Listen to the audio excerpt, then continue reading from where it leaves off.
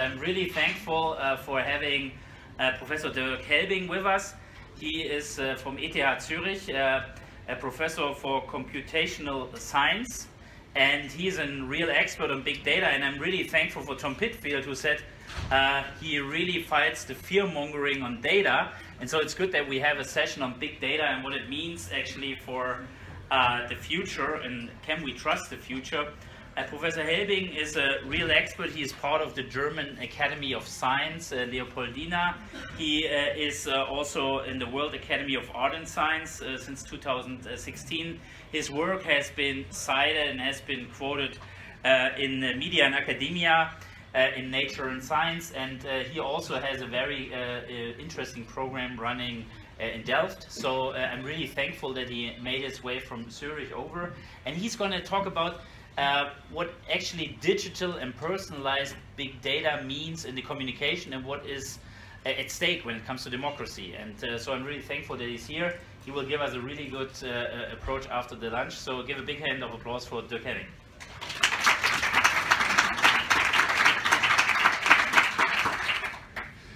Yes, good, good afternoon. So Get Me Roger Stone, that's maybe a movie that you've seen, and you've also seen what happened recently. So on the news, uh, it was reported that Roger Stone was arrested. You can see that campaign managers have been uh, seeing safer times, so uh, all, all has become a little bit more dangerous these days. So I'll talk about personalized outreach with uh, big data, opportunities, risks, trials and tribulations. We're certainly living in a time of big data, but not only this, also artificial intelligence is becoming ever more important. Some people expect that we would have super intelligence systems pretty soon. Some of those systems influence affairs globally, and that's basically the state of affairs when it comes to robotics. Um, so AI and robotics is certainly on its way, and primarily that's a good thing, but let's see what somebody has to say who knows a lot about robots and a lot about politics, which is Arnold Schwarzenegger. right? So he's played uh, in this Terminator movie, but he has also written this letter over here. And tell me if you notice anything in this letter.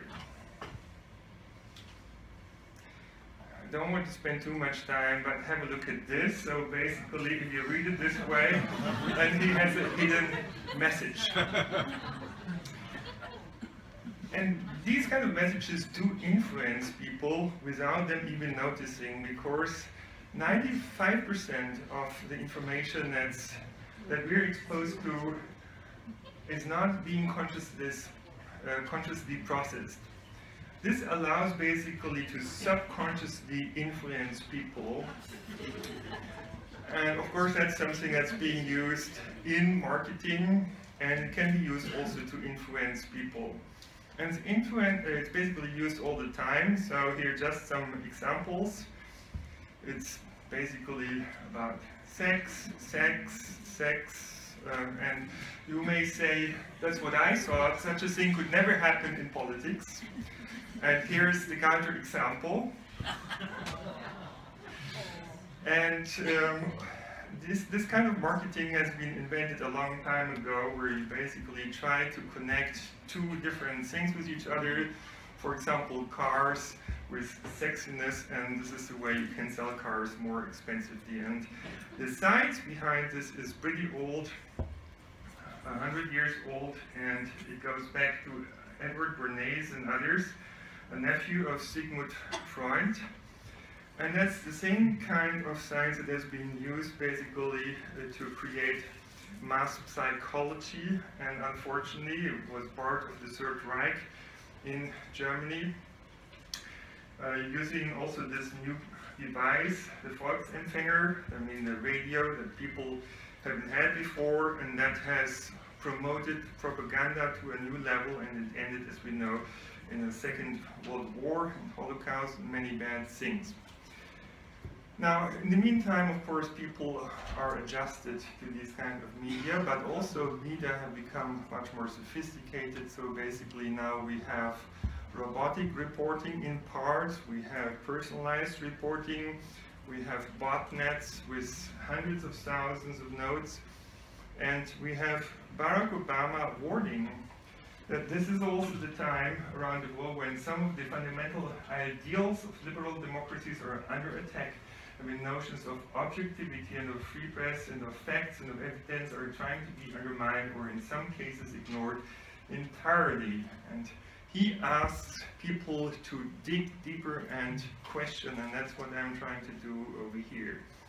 Shortly after his correspondence dinner speech in 2016, we entered the fact-free world as we call it now, where alternative facts basically spread, where fake news spreads, and this is something that was already described in 1984 of George Orwell. And unfortunately, fake news is sometimes more interesting than real news, and that's why lies tend to spread more quickly. And in such a climate, we have to ask the question, will democracy survive big data and artificial intelligence?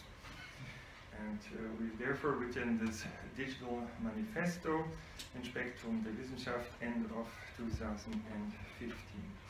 So what had happened? It all started pretty harmless, where basically every political party was uh, posting posters and people had to decide between those different parties. But then we entered this age of big data. And in fact, a lot of this data is personal data. And CIA Director Gus Hunt at that time reminded us, it was back in 2013, that basically all information, human-generated information is basically processed by the CIA.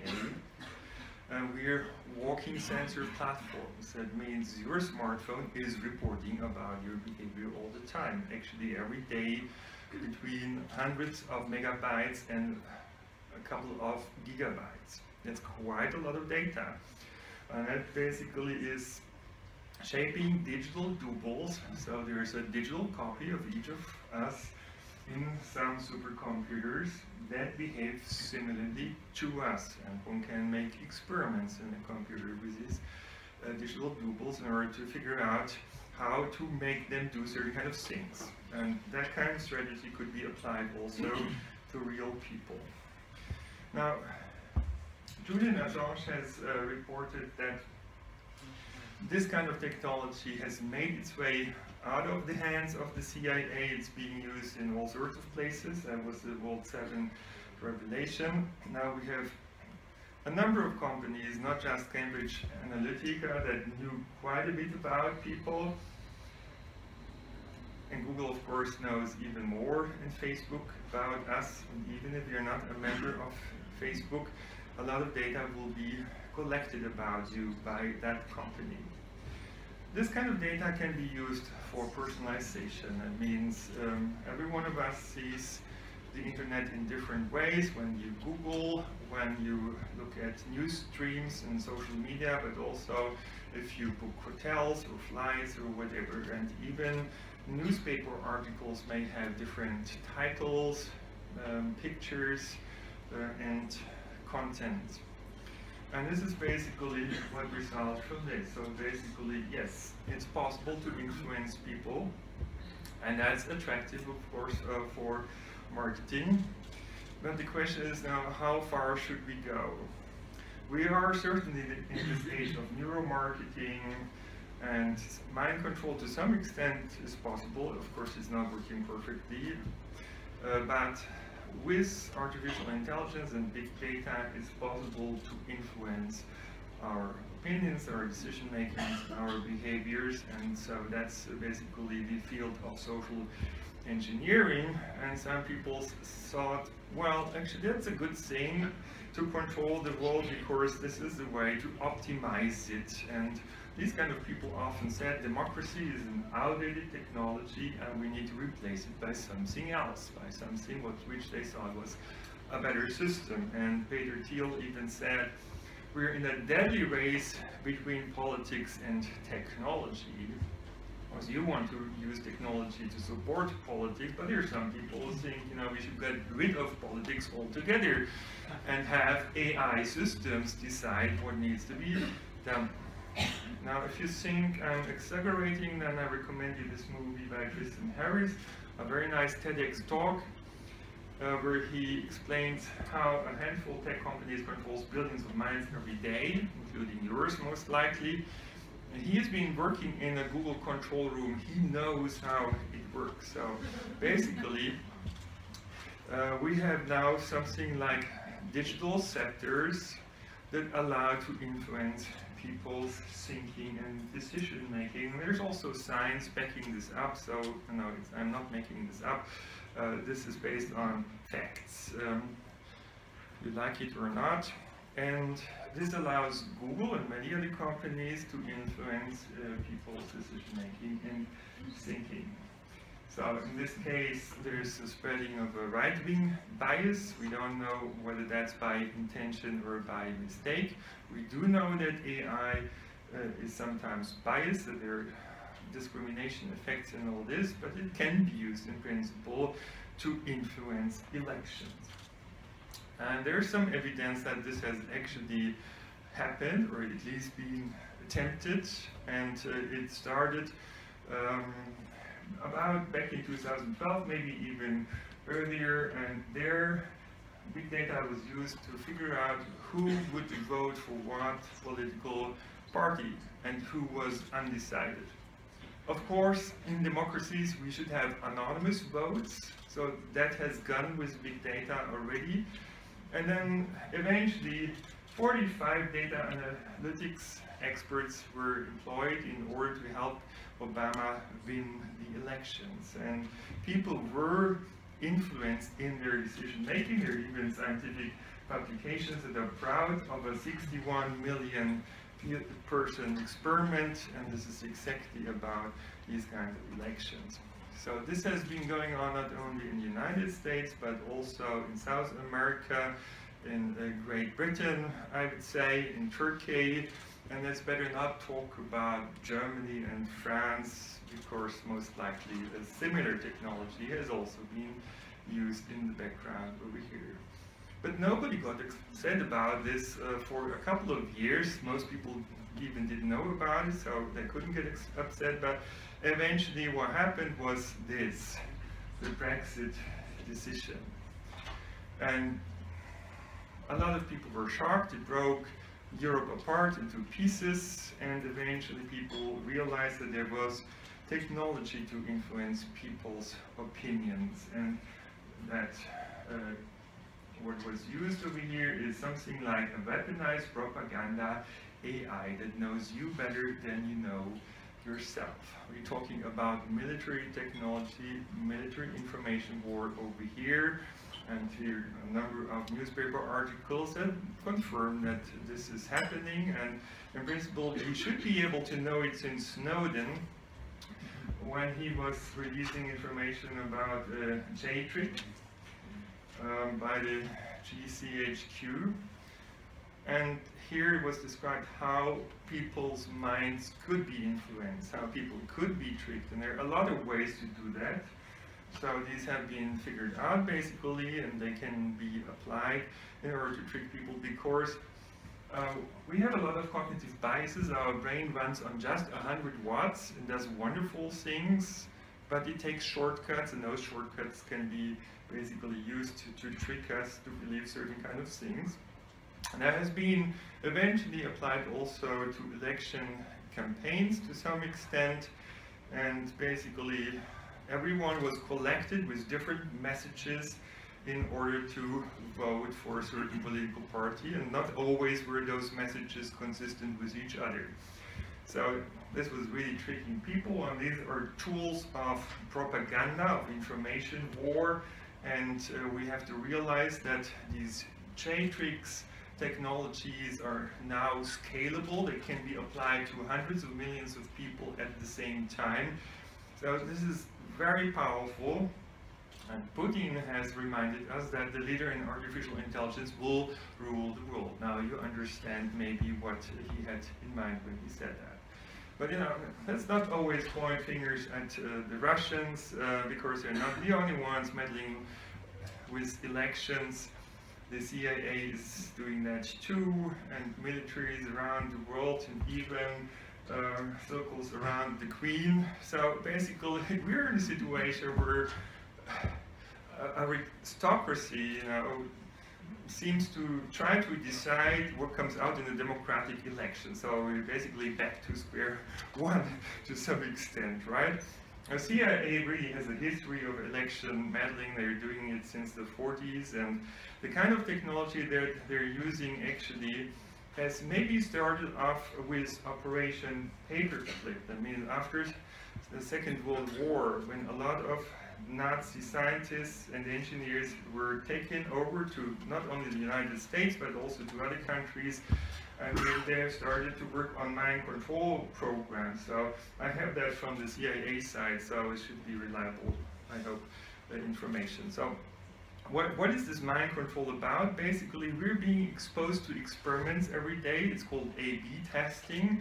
So in this way, it's being figured out how we can be most effectively manipulated to buy a certain product um, or to look at this piece of news or to vote for a certain kind of political party. So while in the 30s of last century, animals were put into these Skinner boxes in order to expose them to rewards and punishments and make them do certain kind of things.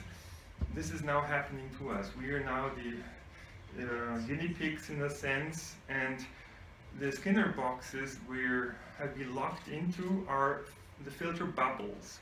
We don't see them, we can't feel them. It actually is quite comfortable to live in this personalized information world and we don't notice that sometimes somebody is trying to expose us to certain kind of information that would feel like we have made this decision ourselves, but in fact somebody else has triggered this, and this is called nudging.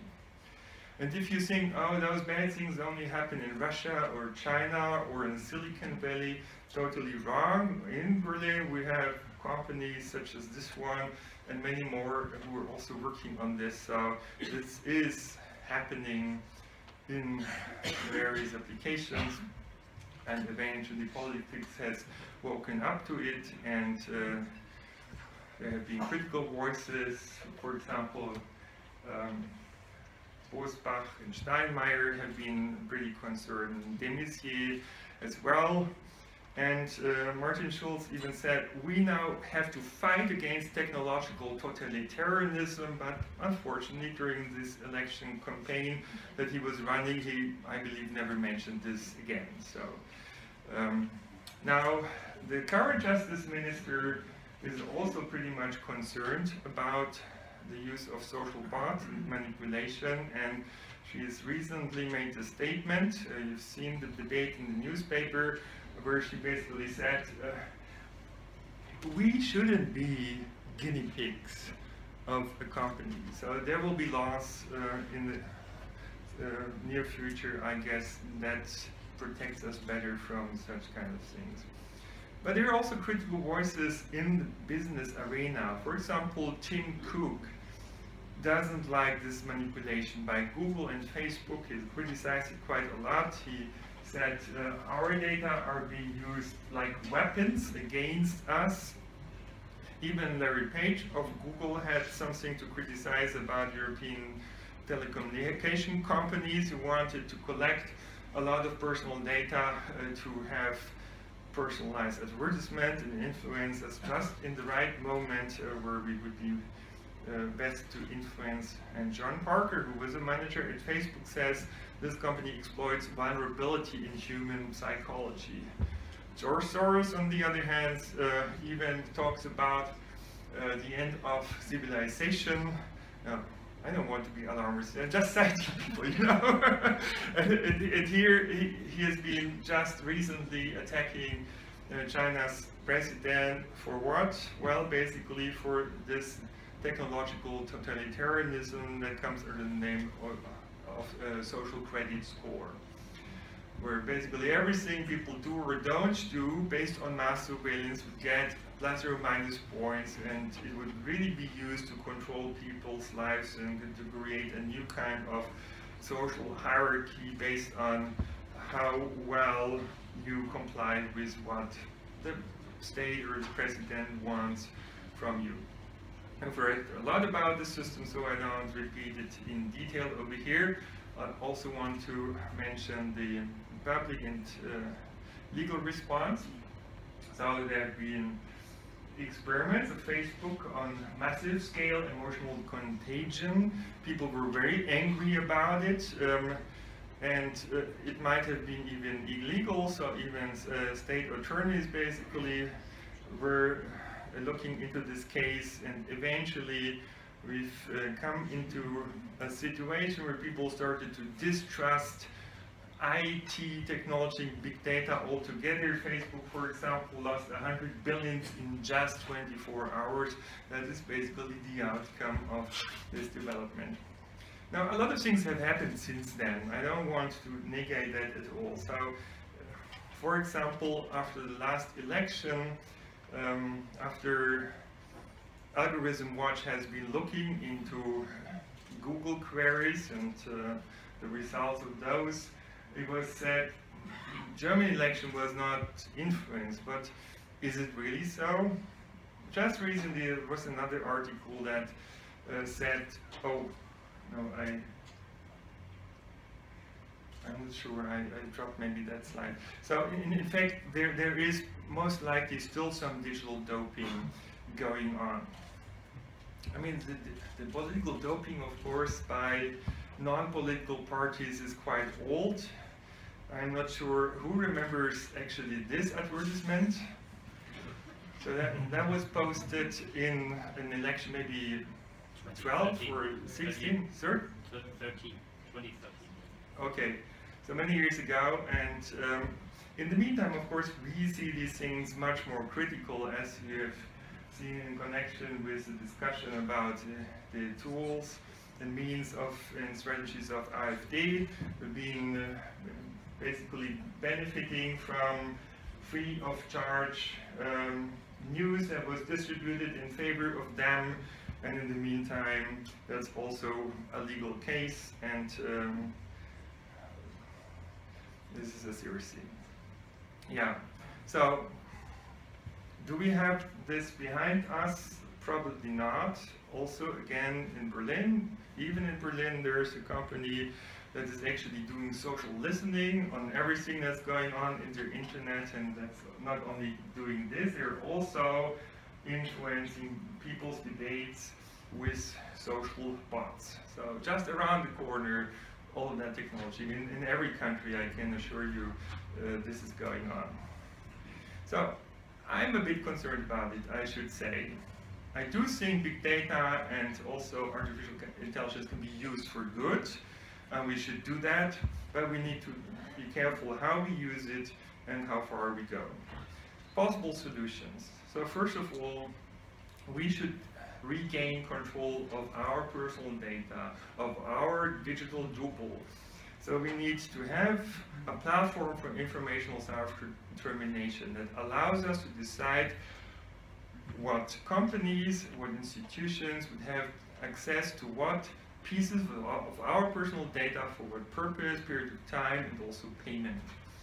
We would have digital assistants or personalized AI systems running on our devices that help us manage our personal data to make it comfortable. These assistants would learn our preferences, whom we trust and whom we don't trust. Companies and institutions would be in a competition for our trust that would lead to a trusted digital society. At the same time, the wells of big data would become accessible not only to big business but also to SMEs, to spin-off companies, to scientific institutions, to NGOs, to civil society. So everyone would benefit from this and we would regain informational self-determination. We could decide how much personalization we want and what parameters would be used to personalize messages, messages for us, right? So nothing against personalization, just give people back control. But we can do more. So how to make democracy work in the digital age? We need to upgrade democracy digitally. We need to learn to design for values, for constitutional, for cultural values, for cooperation, fairness, trust, and truth. We need to build digital platforms in such a way that they're consistent with democracy. I personally think these are some of the features that really matter. Human rights, human dignity, freedom, self-determination, pluralism, protection of minorities, division of power, checks and balances, participation, transparency, fairness, justice, legitimacy, equal votes, and privacy, in the, in the sense of protection from misuse and exposure and the right to be left alone. So, moreover, politics need to adjust to the fact that our systems become ever more complex. So, even though processing power is increasing exponentially, data volume is increasing even faster.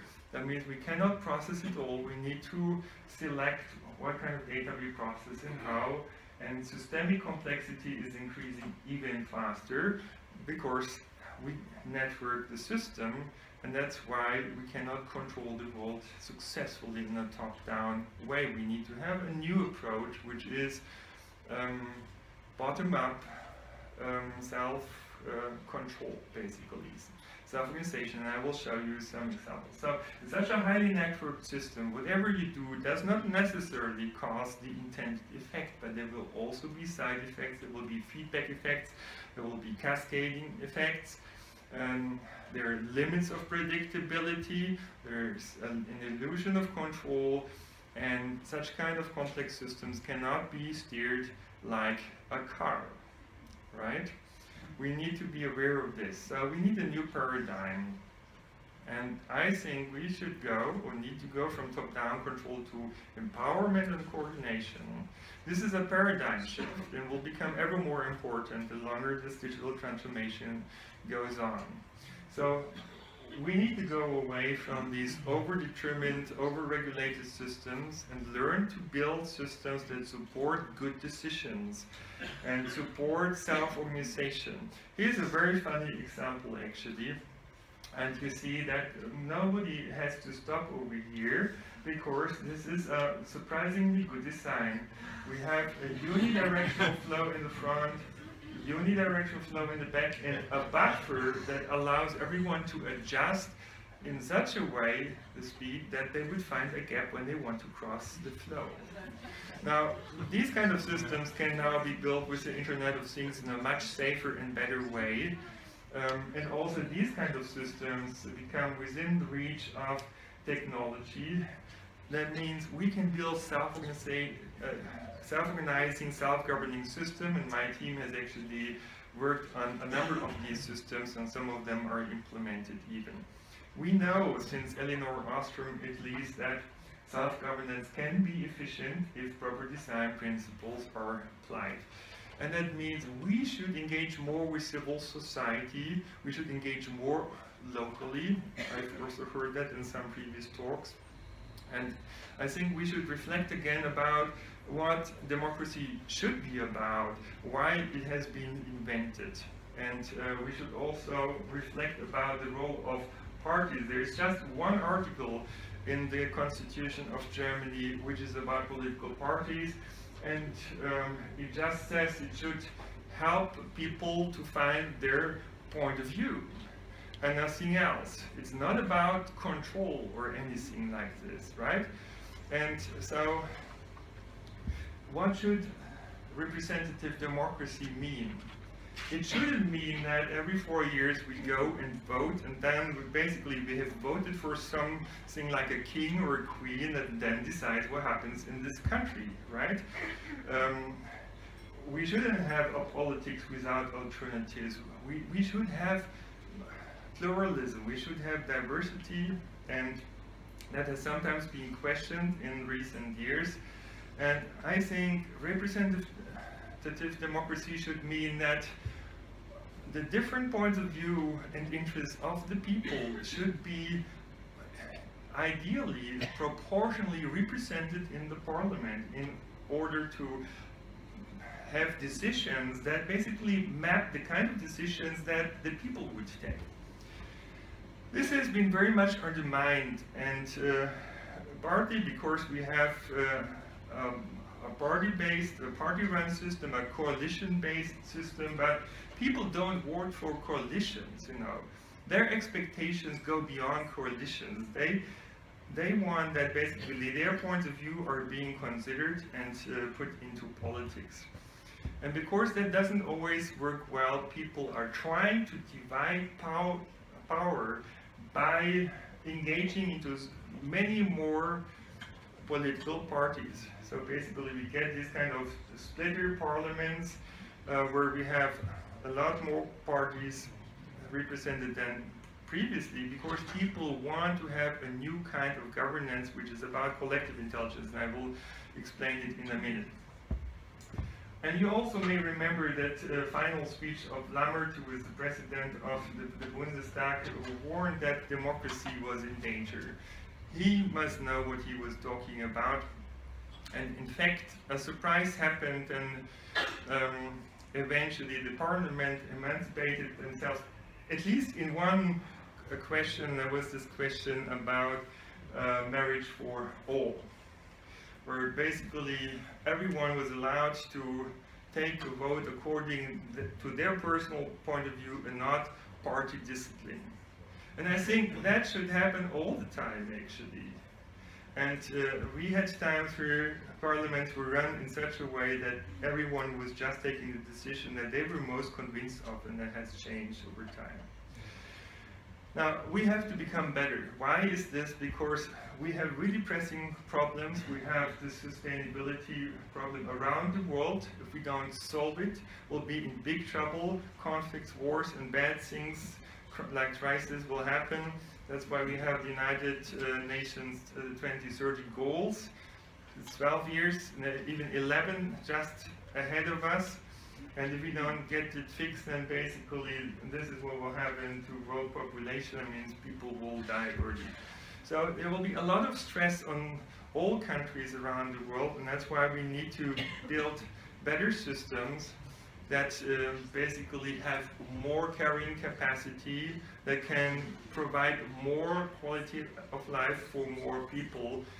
And if you don't manage to do this, then this is going to happen, and you can see that happen already in a number of countries, I guess. So the pressure is here. So what can we do? I think we can upgrade democracy digitally and this is all about collective intelligence. I mean, bringing the knowledge and ideas of many people together. A politician should be representing not just particular interests of certain groups of people, but of the entire country, and also global interests as well. So how do we bring the best ideas of many minds together? We basically need online deliberation platforms where people discuss and arguments are being collected. But this is about identifying different points of view and the logical dependency of different arguments. And this is not how Facebook and Twitter and so on works today.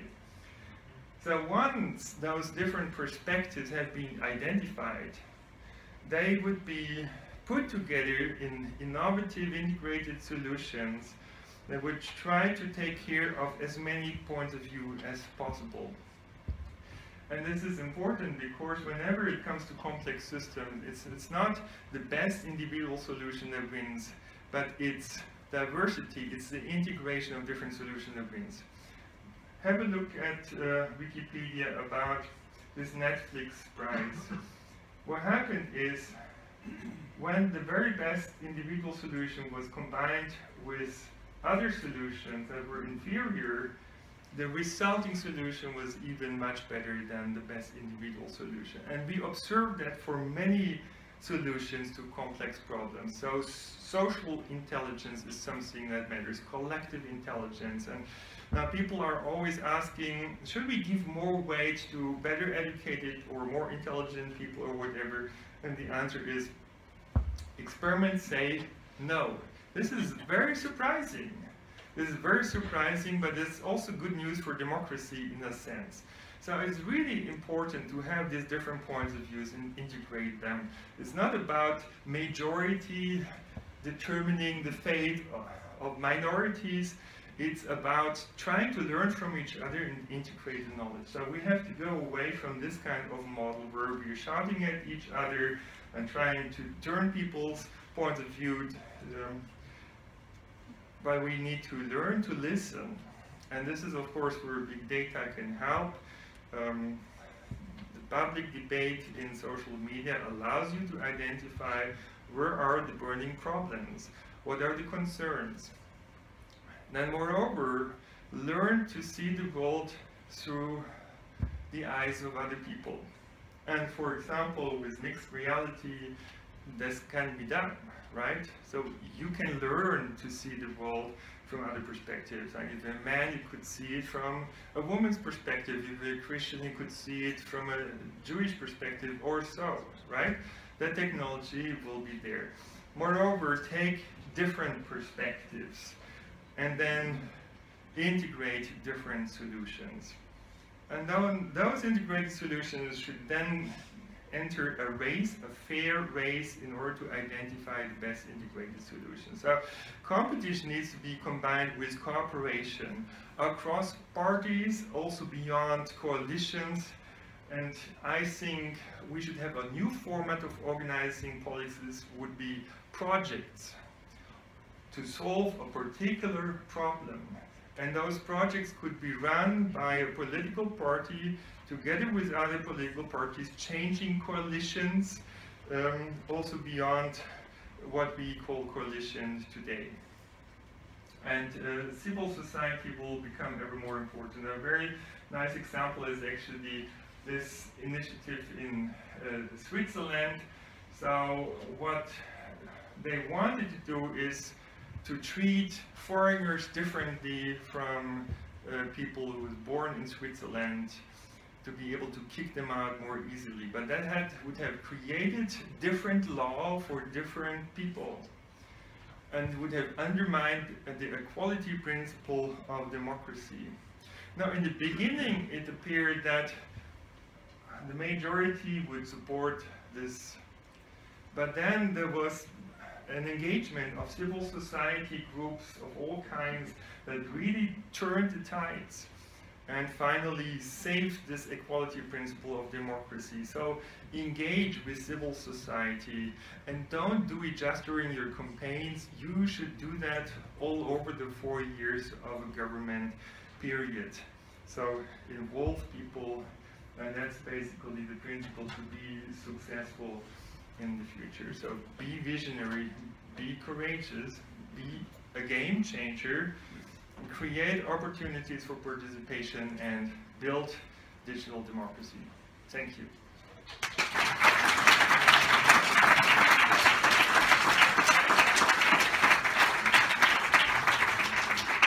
Wow, how inspiring after the lunch. Uh, you gave us a lot of food, uh, food for thought after, so this is uh, really good. But I would uh, take the opportunity to, to give like two or three questions a chance, but uh, we have to, uh, we have to stay with Santiago's schedule, so we have to work on that. But two or more questions, so very welcome. Anyone? Yeah, please go ahead. How, how does... But you have to use the mic, please. Well, Tom, do you have a question? uh,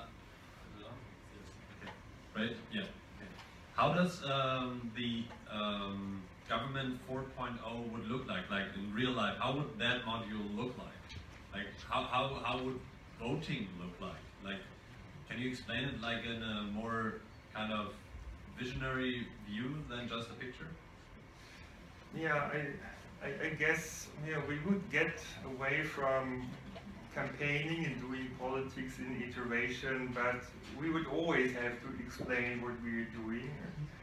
um, all over the four years of uh, government period. And uh, we would always have to engage with the people. Um, I think we should have a new format where we don't have kind of the, the ministries deciding everything that happens in a certain sector, but we should have a format that engages with civil society where people could come up with proposals, what kind of projects uh, could be implemented, and those proposals that uh, get public support, should be implemented, and it shouldn't matter whether um, this is just the opinion of the strongest political party, or whether there are other political parties coming in to support such a project. So, you know, we could have kind of several hundred projects within a four-year government period, and some of them might be um, bringing uh, the Christian Democrats and the Social Democrats uh, together, and in, others maybe FDP would be in, or the Green Party, or even the AfD. So basically, you know, every corner of society that has a justified uh, interest would have opportunities to contribute to shaping and improving our society. And that means really a uh, reorganization of the way we organize politics. And so I'd like to trigger that kind of discussion over here to think beyond what we have been doing in the past and how we have been doing it. So in a word, just more Volksentscheide? Uh, I think that's More also kind of a, a referendum. It's, it's, it's, it's, also an intermediate thing, um, right? It, it, it's still not taking civil society on board as creative, innovative, shaping force. And I think we should be doing this. We should be learning how to do that continuously. I think we have two more questions, but I think like a campaign strategist like like Tom Pitfield would like to see that happening actually because it's constant campaigning, right?